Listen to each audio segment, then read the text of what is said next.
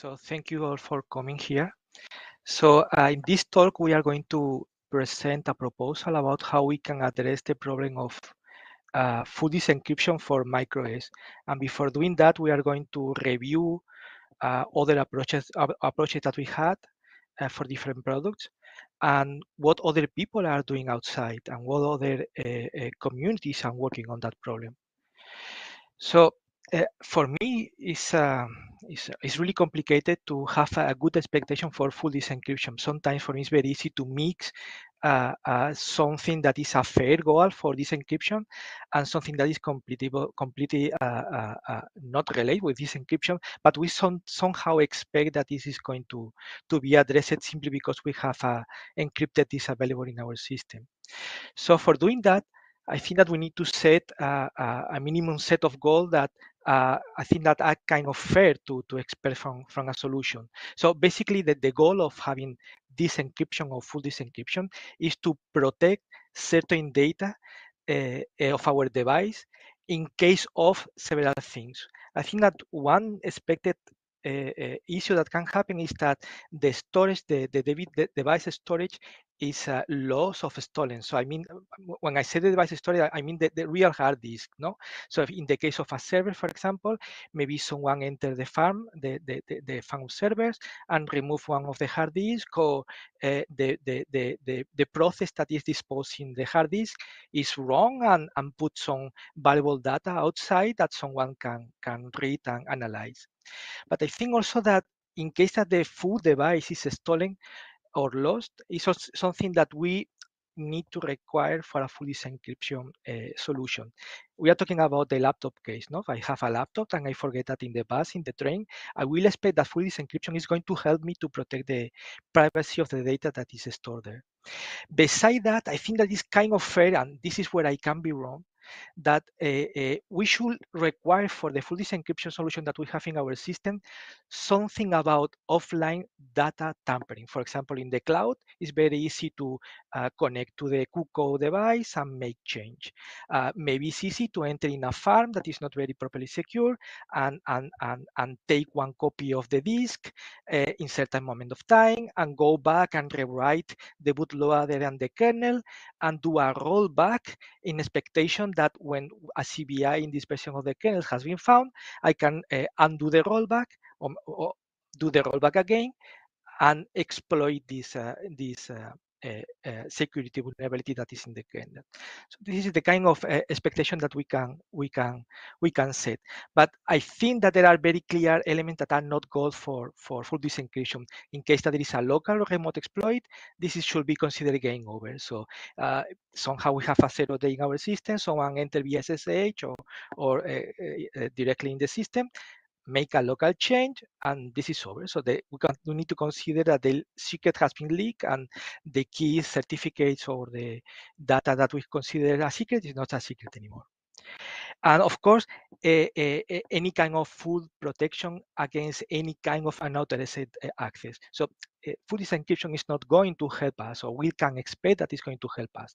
But for that, there are other tools. For example, for, we have DM-Verity in case that we, our system is completely uh, image-based. Uh, we can be sure that DM-Verity is going to help us to be sure that the system is not going to be altered in any way. if we want to attest the binaries that we are executing, we have IMA and also remote attestation can help in certain situations. So now it's time to see what others are doing. No? So what kind of reference implementation are uh, out there? So for Microsoft Windows, it's very well known that BitLocker is the, the reference implementation for that. Uh, BitLocker is not perfect, uh, but it's assumed it's using the TPM for that. And uh, even though there are some drawbacks, for example, they documented that the, the uh, uh TPM sealing is going to be disabled during certain kind of updates. So it's kind of unprotected during certain situation. It's already good enough to provide value to the user. In the case of macOS, there is this FileVault. Um, I don't know much about this solution, but I read that they are using also TPM or some kind of TPM alike that is available for on devices.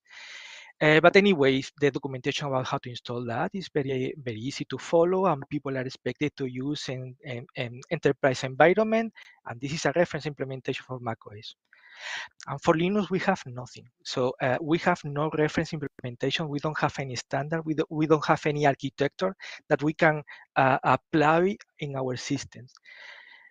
Um, and this is something bad. I mean, this is something bad. There is a, a really good advantage of having a reference implementation or some standard uh, for, for Linux. We can ignore that, but if we have that, we are going to have more developer watching and developing and improving, making new features, but better support is going to be live and active for longer time. So this is a real advantage.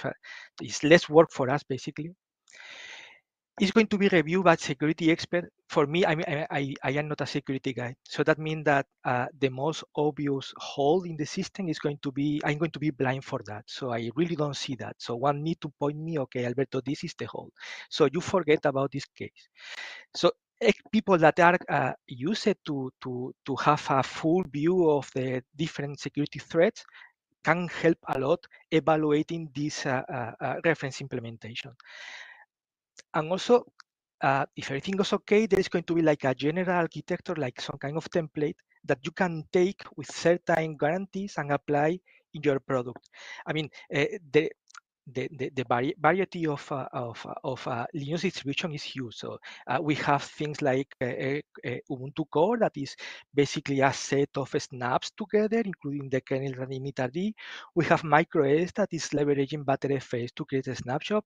We have more classic distributions. So it's a really complicated ecosystem, the, the, the kind of situation that a Linux distribution is going to find. So if we have some kind of template that we can apply when it makes sense, this is going to be a massive advantage for us. And I want to mention, I mean, it was in the news like two or three weeks ago, that are currently today initiatives, uh, in that case, under the systemd umbrella, uh, the, uh, for, for this case, uh, it's a, a, bit more broad because it's addressing the problem of Linux image-based distribution, but where full disk encryption is one key component there. So there is people in the community, in different companies and in different open source projects trying to address this situation in a standard and canonical way. Um, but actually, I kind of lie. I mean, I, this not, there is not, not a standard, but I think eventually is collapsing in two different models. One based on GRUB in the Grand Unified Bootloader, and the other one collapsing in systemd. I think both are uh, uh, uh, fairly used. I mean, it's not true. I mean, GRUB is much more, much more used uh, for this full disk encryption than systemd today. But I think that there is going to be uh, an inflection point very soon enough where this thing, if everything goes okay, is going to change. Uh, they are kind of different. They have different approaches, different tool set. For example, uh, because GRUB is a bootloader, uh, they are going to leverage or they are going to, to, to attack the problem much more early in the boot process. They have this cryptomount extension, and so and other distribution have extension of this uh, in this cryptomount command. That basically what is going to do is to open the the LUKS device or the uh, dmcrypt device provide the password and access to the to the kernel and the initrd and continue for the booting. Um, I think that from the since the beginning of this year, in February, January or February of, of this year, Microsoft provided a patch that is still under review for GRUB 2 that is providing a, a, a framework based on something that they call key protectors and these key protectors, together with some CLI, are going to uh, uh, unseal or, or, or uh, decrypt certain passwords that later can be used for the for the mount process. One of the key protectors that they are providing is based on TPM2. That is a crypto, crypto chip that uh, later we are going to see like one or two words that is helping a lot uh, in order to provide more security and more uh, um, validation uh, uh, uh, before opening the crypto device. Um, the problem is that this patch is not complete. It's like one step in a long chain of requirement. Uh, for that, there is something, uh, uh, one, one element that we need to provide as a distributor is how to encrypt or seal this secret. In the case of OpenSUSE or SUSE, we are providing this PCR Oracle. This is a tool that we make here to uh, uh, uh, predict the value of certain register and, and seal some secrets that are going later to be used by this patch and open the device.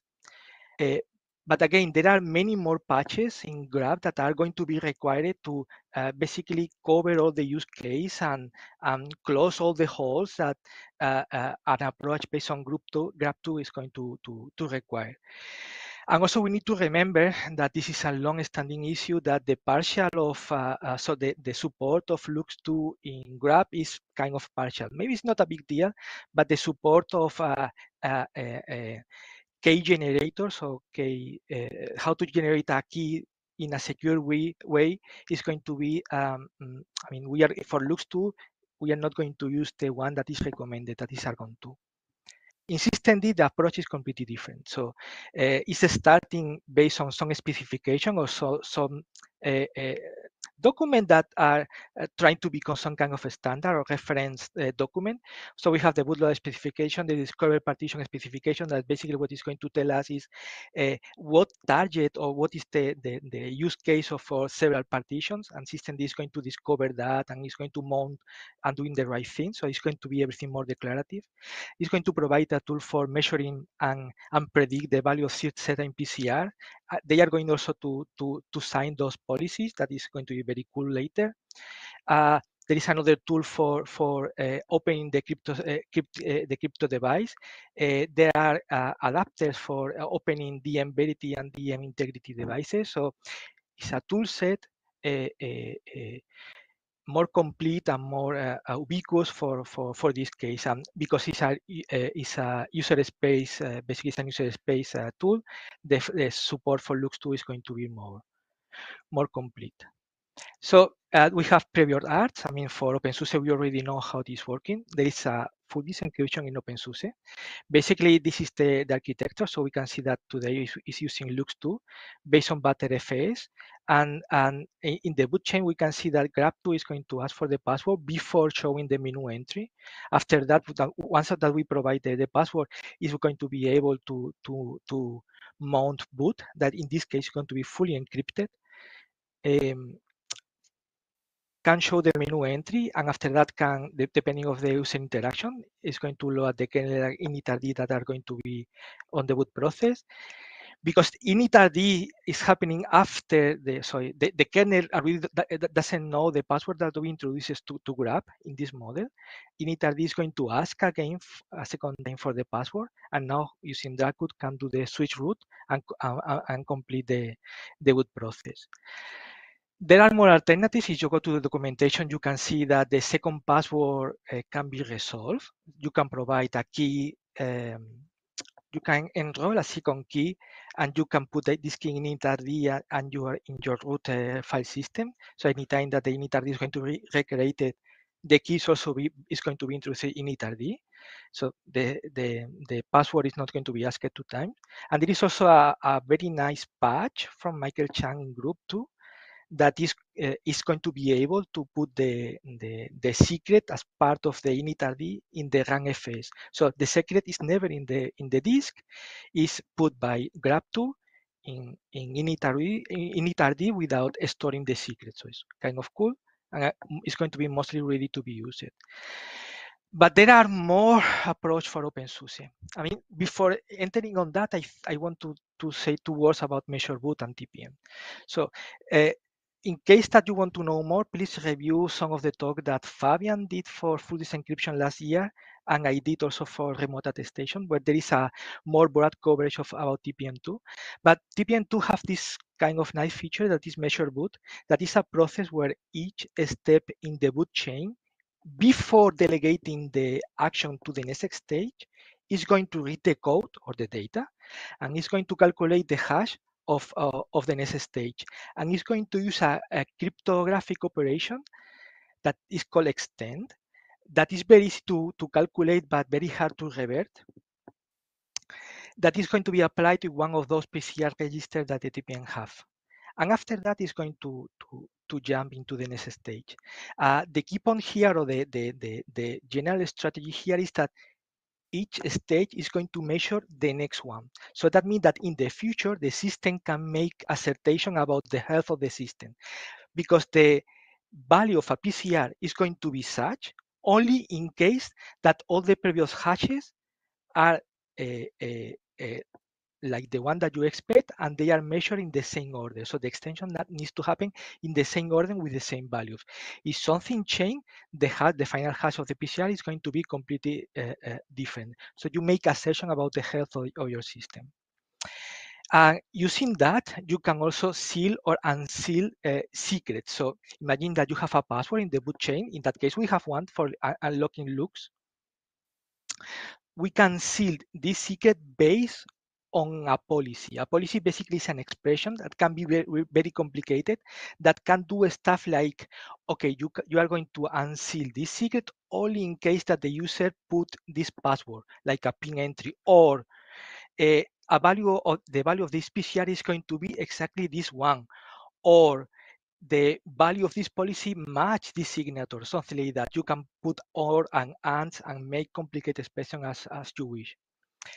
Uh, the key point here is that the seal secret that is stored in your system can only be opened by the exactly this TPM in case that, that the policy match.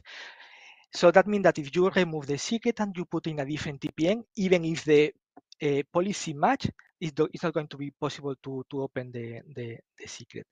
And for that, there is like a prototype also in OpenSUSE that is showing, uh, only showing, a very cumbersome and manual process where we can use systemd in order to uh, uh, unlock uh, the, the, the device with certain restriction. For example, one of the restrictions is that upgrade or, or rollback is not taken into consideration. But the key features are, are shown here. So for example, we can see that in this case, uh, boot is going to be unencrypted. In this case, uh, can live in Btrfs, but can live also in ext4 or whatever you want. And uh, USR um, and ETC and bar is going to be part of the encrypted device. But one nice feature is that the condition to unencrypt or to unseal the secret is going to base on a very long chain of measured stage in the boot process. So you are going to unencrypt the secret only if the kernel, the initrd, grub, and the firmware is in the in a good known state by the user.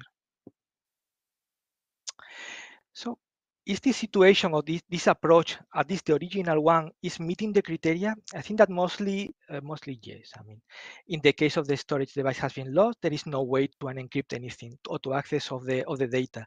Uh, we need to remember that this grub who is opening the the the uh, the kernel and the initrd device. So before that, is asking the password to us, so there is no way to to to access to the to the system. The same case in eh, in case that the food device has been installed. So I can't change the the, the kernel command line, or I have any entry point because I really don't know the password that is going to be required before accessing to the kernel is protecting about tampering i think maybe i mean maybe can can can can protect uh, uh, there is no per se data authentication in this approach but if we are using Btrfs in a CoCoA device the metadata in the co uh, in the cow device is going to be also encrypted. That means that when Btrfs is going to read a file and the CRC or the metadata is not matching, it's going to do a IO error. So yeah, there is some kind of that authentication. But as far as I'm aware, it's not protecting about any rollback action. So eh, it's based on a password. So that means that I technically can rewrite the device, providing a different or an old version of the kernel. I, I can make exploit later. But it's kind of okay. So it's mostly uh, working on all the points. Uh, for ALP, we are using, I mean, Olaf Kirch is using another approach that was described uh, before that is taking advantage of the, the, the patches that we have for, for that Microsoft provide for, for, for Grub and using all the uh, key protector framework in order to use the TPM2 uh, before unencrypting the or opening the, the, the boot. So in that regard, it's kind of similar how uh, uh, the traditional uh, um, boot encryption is working in OpenSUSE, but now using beside beside that the TPM2. So we can see that uh, the, the boot process is going to be very similar. So the boot is going to be also encrypted, the same for, for USR and ETC. And because it's GRUB2 who is opening the, the, the menu entry so the device that is going to have the menu entry and the kernel, the mm, the area that is going to be measured by the TPM2 during the measure boot is going to reach until GRUB2. But all the firmware GRUB2 as some of the data that GRUB2 is going to read is going to be measured. So after that is something match, the TPM2 is going to be able, so based on the of the policies that we are, we are going to apply, is going to be able or not to unseal the, the secret that is going to open the LUKS2 device and continue the boot process. Um, as commented, is using this uh, GRUB Protect, or you can use, I mean, it's not using today, but one option that you have for GRUB2 is that you can use Grab today, uh, GRUB Protect in order to seal the secret based on the current status of the different PCR. But there is a much better option with PCR, PCR Oracle, where you can predict the, the the PCR values uh, using some technique where you are storing the PCR values in some EFI uh, variables inside the, the inside EFI that you can so the, it's stored before uh, GRUB is doing the measurement and after that you can compare the other status of the current one. So it's a you have the information in order to make the prediction.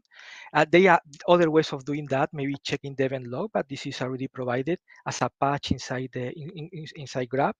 How to recover is a so the process for recovering in case that I don't know the the TPM prediction was wrong or you update the firmware and you were not aware of that. It's something that you need to decide how to do that. Maybe you can have like a, a, you can register a secondary key and provide a, a usb stick that is is going to be able to boot the, the system and you now you can you can provide the secondary key the current patch from Microsoft is not supporting PCR, Signet PCR or, or a, a, a, policy authorization in TPM. It's not providing the signature of, of, of PCR. This is kind of a dummer, but I think that this is something that can be done working with upstream. So it's a, we can extend the, the, the, TPM patch in order to, uh, instead of expect a fixed value of the PCR, you are going to provide uh, the PCR value in a different file that is going to be signed by a, a, public key that the TPM is going to uh, validate. And if the public key matches the signature of this file, it's going to use the PCR value in, inside the policy instead the one that is used for sealing the secret. Uh, and also, uh, yeah, I commented, the this portion that can be measured is going to be smaller than expected. So it's not the full chain of the boot process, but you are going to have all the system PCR measurement and partially partially the one that uh, GRUB is doing that basically uh, in this case we are using PCR uh, uh, 9 that is the configuration file uh, that GRUB is going to read before un unsealing the, the, the device for the evaluation, I mean, is meeting the criteria. That is can be a bit, a bit, more hard to tell. I mean, I think that is very clear that if the, in case that the storage has been lost or stolen, this is not going to be possible to decrypt. So it's doing the right thing. The TPM is not attached, attached to the device, so that means that there is no option to open that in a different device. But if the full, if I have a laptop with this system can uh, and I lost the laptop can be open uh, by default yes. I mean we need to remember that the kernel kernel command line and the initRD are not measured anywhere. So that means that if we are using GRUB as it is we are going to be able to change the GRUB command line and continue the, the boot process because we are using the TPM from the from the system. One solution for that is to have a version of GRUB that is going to be impossible to edit the kernel command line. I'm not sure if this makes sense for a laptop, but I mean, it's an option, so it's certainly there. There is a offline data tampering. I mean, I think that mostly yes. I mean, no, it's not explicit, but Btrfs is again for the cow uh, volumes or sub volumes is going to do mostly the right thing. The, the metadata is going to be encrypted, so that means that if you change one block without changing the metadata associate, and both are going to be encrypted, you are going to have the, the IO error later, later on in the process. So yeah, it's true that if you are doing that for a database that is living in a bar, no. But for the system, yeah, mostly yes. Offline data tampering, I think that there is no protection in the same sense that we don't have that in OpenSUSE. I mean, it, maybe something that we can implement that for today, there is no, no clear path about how to avoid the rollback. So maybe another solution is completely uh, forbid the, the rollback in the same way that we forbid the editing of the kernel command line. And maybe for microOS, I mean, this is a proposal. This is a, an idea and how we think in the team that we need to address the problem for microOS. That is in that case using systemd. So remember, we have systemd or the systemd community or some community around there that want uh, provide they want to provide a image-based Linux distribution. They want to address the problem of a, a full disk encryption. So that means that for them, they they have like a different kind of tool available for them. That is the Embedded Unified Kernel Image. That is something that maybe we can add or think about. It makes sense for microOS. They have some kind of specification, specification that we need to remember that they are still open. So this, a specification for us. It's going to be possible to create a pull request and and and uh, be very clear that our demand has several other cases that should be uh, addressed and they are very explicit about using secure boot. Secure boot is not, not going to be optional, so it's going to be there. And it's the same for us. So for ALP, secure boot is going to be there. Something very nice, in my opinion. I mean, I didn't like at the beginning, but I think that is pretty cool. They, they are going to take ownership of several PCR. So PCR 11 and 12, there is not a very explicit use case. There is not a standard process about taking ownership of different PCR, but they are going to use PCR uh, 11 to measure the, the unified kernel image. So that means that the prediction of the final PCR is going to be very simple because the extension comes from zero. So zero extended with the hash of this uh, file is going to be the new value of the PCR in any system. So that means that a third party or the OS or vendor or provider can provide a signet policy that is going to work in any system outside. And the secret is only going to be unsealed locally. So because uh, if the if the signature match is going to be is, can only be unsealed, uh, unsealed locally. Um, and they have uh, in the roadmap they have features that we really need.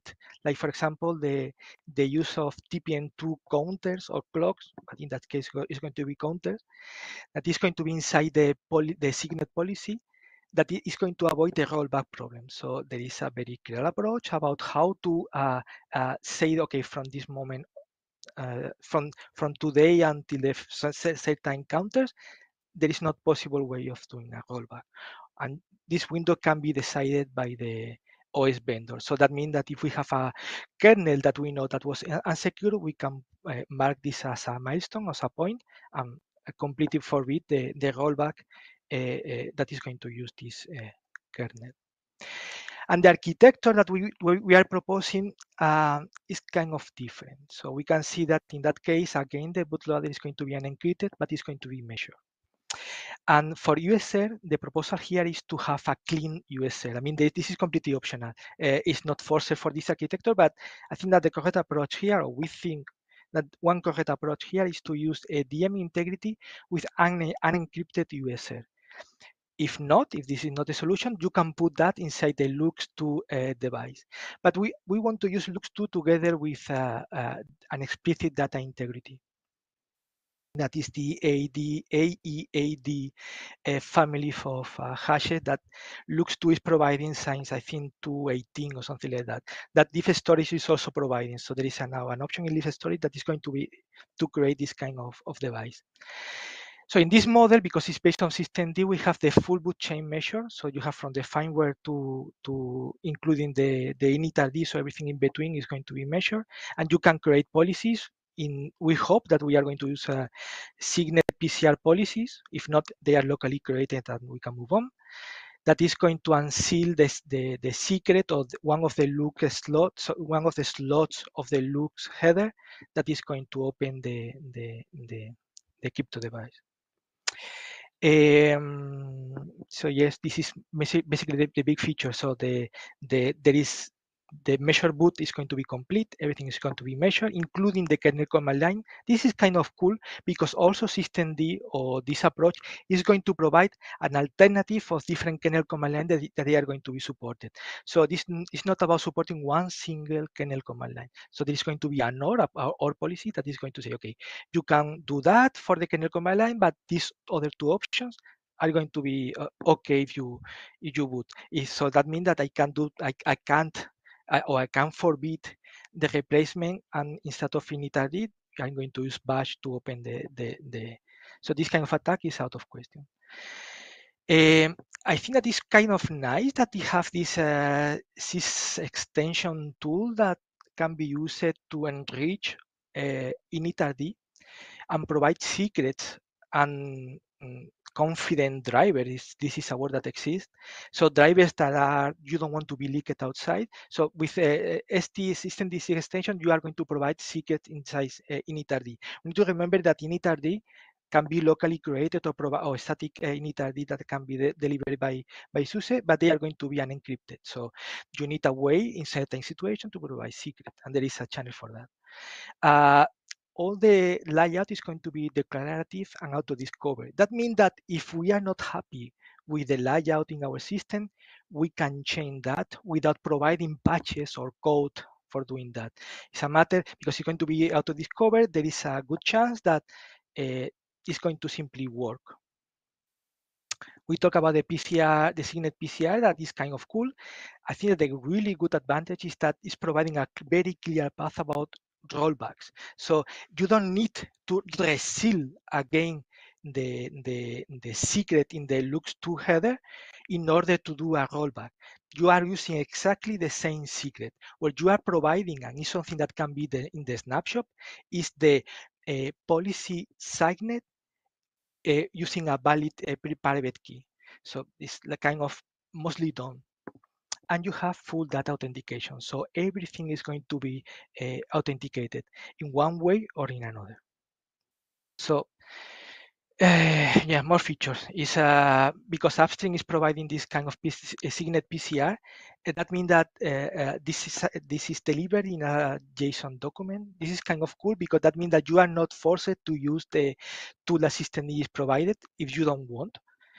you can use your own tool or contribute upstream to change systemd measure in order to sign the, the instead the unified kernel to sign the asset that, that you want to, to evaluate. Uh, I need to say that this is also in the to-do. So upstream is completely, in that case, system is completely open to, to provide this feature. If they are only waiting to someone to do that. Uh, something that I really love is that no local patches, no downstream patches. So uh, the I, I, need to consider that the, I mean the GRUB2 amount of patches that we have that eventually they are never going to be upstream I mean, maybe because they are not relevant or because they are very ad hoc or simply because a string is, uh, yeah, can be a bit picky, uh, is huge. I mean, the amount of patches is really huge. With systemd, we have the chance of have zero local patches. So that means everything, the prediction, the, the signal, the signature, the unlock, everything is going to be upstream, including a mechanism for doing the rollback and, and uh, for forbidding rollback until certain period. So everything upstream. So less work for us, at least for, for the systemd maintainer. This is working.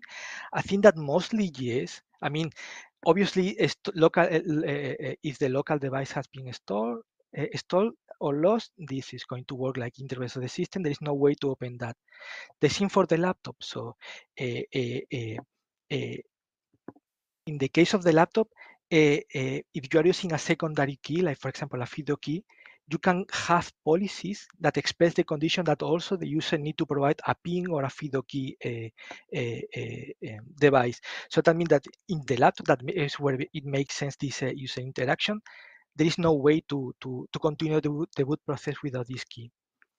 Uh, data, uh, data authentication, I think that is very explicit. So again, we have uh, DM integrity, we have measure boot for the unencrypted part or for the part, part of the initrd and kernel and the kernel command line, and we have uh, LUKS2 without authentication Eh, in the rest of the system. So it's explicitly there. So it's not implicit because of Btrfs, but it's there because for, for definition. And rollback, I think that today, no, the, there is no rollback protection, but it's in the roadmap again. So we are going to use this counter to fix the, the, the, the, the rollback problem. So this is why it's a kind of yellow phase. Closing. Hmm. I think that maybe at then it's not really, really relevant if we are going to use GRUB2 or, or, or systemd. If we decide to go to the GRUB2 path, I mean, maybe we need to become upstream in GRUB2. I mean, this is not a joke. I mean, I discussed that recently. I think that kind of makes sense. So uh, grub2 patches are massive and including certain patches from GRUB2 is kind of very hard. For example, one patch that we have that I recently learned that never is going to be upstream is this one. So let me go back in the slide. So one point here is that the bootloader is not going to be grub2 or not necessarily is going to be grub2. In this architecture that we propose for MicroOS you can use another bootloader that is going to follow the bootloader specification. The problem is that the different patches that we have for grub2, no one is going to be accepted. I learned that there are two patches, one from Lennart Poettering itself that was very fast, no. And there is a second one from Fedora that I learned recently that also is not going to be upstream. So that means that if we go to this path and we are going to use Grub for the first prototype, uh, we need to maintain a downstream patch uh, for us, or maybe there is a hero outside that is going to provide the perfect patch for Grub2. Uh, so anyway, my point is that there is going to be a less of work for us if we uh, uh, go for a more standard solution. And I think that there is a window of, of opportunity here. Is recently where different companies and open source projects and uh, are collaborating and they are uh, uh being very vocal and explicit in creating standards and proposal about how to work together in a, a solution that is going also to cover the full disk encryption. And I think that is an opportunity for SUSE, for my team, and for the rest of the team, that is uh, be very active and engaged in those upstream uh, discussions and and start, uh, yeah, be very explicit that okay, for sub volume we need this kind of naming, for rollback we need this kind of approach, and for Btrfs we need this kind of I don't know the extension in the in the standard. So this is the how I see this uh, uh, full disk encryption problem, that opportunity to cooperate with uh, more communities. And okay, we have five minutes for questions, if there is one, because that's Thank all from my side. Thank you. Questions?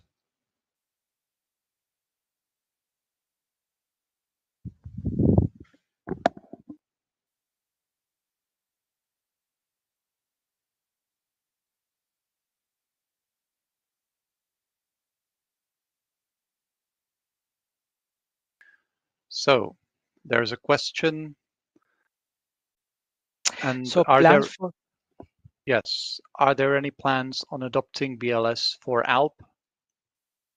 I mean, I I think that no. I mean, for ALP, no.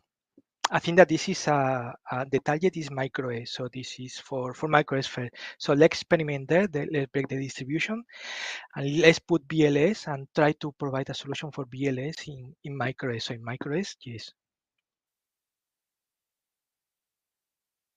Olaf, please. Yeah, hi. So um, I'd like to comment on on some of the things that that Alberto mentioned here. I think one pretty important distinction that we need to make is um, the the MicroOS approach that is is suggested proposed here um, because it actually needs to measure a much longer chain before it decrypts the secret that we need to access the LUKS volume, um, there are a lot more moving parts, right? So that means essentially it means um, you have to somehow authorize every combination of kernel and init RD that you that you want to use on the system. And this is where where these signed policies come in. And that's one of the reasons why for ALP we took a different approach where we basically said um, everything we want to protect is inside the encrypted volume. So all we need to do is bridge the much shorter gap, which essentially consists of, of the shimloader grub and the initial grub.config file. Of course, as, as Alberto correctly points out, there are a few things that you, uh, some additional pain that you incur um, as part of that. For instance, you have to fiddle around with, okay, how do you prevent the user from doing nasty stuff by modifying the kernel command line? Um, but I think at the end of the day, it's not much different from preventing the user from doing bad stuff um, with the you basically UEFI boot variables, it's probably a pretty similar approach. Um, so overall, I still believe um, that by putting the TPM unseal very late in the game, you're actually increasing the, the complexity and the of the management of the whole situation quite a bit, which is why that makes me a bit uncomfortable, right? Yeah, I mean, I mean, if I want to comment, if I can comment on that, I think that the point is not exactly that. I mean, for me, I mean, I'm not security expert, so I can be wrong, but the the bigger the area of the boot chain is measured, the more security because this is the cornerstone of the measure boot process. So uh, why to use measure boot in that case? So you want to to be sure that the health of your system is as long, I mean, is attested as far as possible. In that case, that means for Linux, that means until the initrd, but with IMA, you can even go further. So that means that uh, uh, you can have the full system measure. Uh, that's on one point. I mean, I think that is a, a fair point that this is more moving part. That this is yeah this is true but i i don't perceive that as a uh, like a, like a core problem as in that this is a technical problem for example a certain distribution they are going to use unified kernels in order to address this problem of uh, initrd kernel and initrd combination but if you are using uh, bootli- the bootloader specification, it's very clear the amount of combination that are going to be possible. So the combination between the kernel, the kernel command line, the initrd, and the root file system are going to be enumerated. So that means that you can make predictions on that or you can calculate the PCR locally because the, the, the set is going to be finite. And yeah, I mean, there is a technical problem that there is a technical solution. I I don't have the word to say that this is going to fly or not. I have the feeling that yes, but yeah, that is why MicroOS is here to, to make experiments. So another question is why having two different layouts? I mean, because uh, we are in an influx. I think that we are in a in this moment where everything is pivoting from one system to maybe another. So we need to move forward. So basically, the uh, GRUB uh, for certain scenarios can't be used, and are, in my opinion, and this is in my opinion, the architecture proposal for GRUB is very constrained. So I think that uh, uh we should uh, uh, doing the path by doing that. So let's try to put this new model that is ongoing in MicroOS Let's start being very vocal about the problem that we found and contribute on that. Because I'm pretty sure that in one, two years, more distribution are going to use that. Because today is like a jungle. I mean, uh, every distribution is, is, is, using very different uh, uh, approaches without really a, a formal validation on that and and and no one is very happy to the with the full disk encryption solution that they have if they have one. So yeah, this is no, this was more the the layout was more regarding the BLS scenario. I mean, um, the proposal for using this the boot standard has been around for years now. I, I guess it was eight years ago when you proposed it initially. So it's hardly a new concept. Um, nevertheless, it didn't really catch on because that's one of the things which is really, really, really, really hard to change. Once the partition is done, the partition is, is done and will stay for the lifetime of that computer or that installation. So, and um, I mean, I did some experiments back in them days and found that's actually quite easy to to modify even for our layout, layout if we manage to move it one side down, because that's really what this amounts to. We essentially have to add another level um, of uh, basically, basically another um, directory where we store our kernels in. So storing the kernel slash directly under, under slash boot is not going to fly. But if why can't we just start by doing it now? I mean, ALP is a new concept. So what do we lose if trying to attempt or not trying to attempt rather? I mean, maybe there are time constraints. I mean, ALP is something that we need to deliver. In MicroOS, I think that is the proper place to to make validation, but I can be wrong. Yeah, so if I can jump in real quick, I mean, certainly it was time. Time was the issue. I mean, we barely managed to finish the FDE proof of concept that we have today um, for the first prototype. Um, there are a few gaps that need to be addressed next.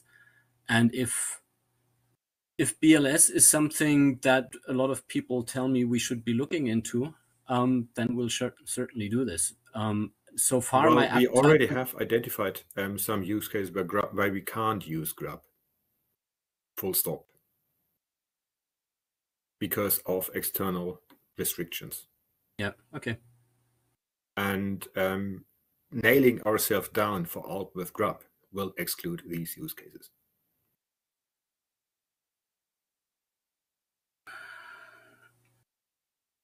Okay. Yeah. I'm not sure whether we really need BLS for that to actually handle an, another bootloader, but yeah.